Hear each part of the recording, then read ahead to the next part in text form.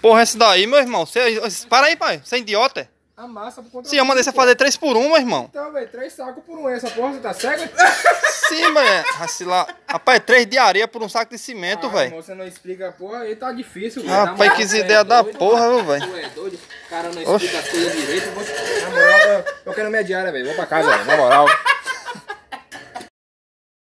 Ó, velho, agora você vai na loja e pega o sapinho, aluga lá e traz pra bater aí, viu?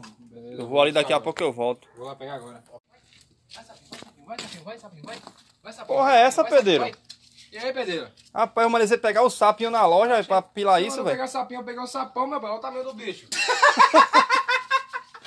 Não é esse sapo não, Dizão. Como é que esse sapo vai pilar isso aí, velho? Você não explicou, velho? Porra, na moral, doido. Fui lá embaixo, lá no a Falei que o pedreiro usar a cabeça de manhã, que ele tava fazendo serviço errado. Quero saber que porra é essa daí, pedreiro. Você não mandou usar a cabeça, rapaz? Tu é doido, é, bicho? Não é assim não, velho. Usar a cabeça pra executar o serviço melhor, velho.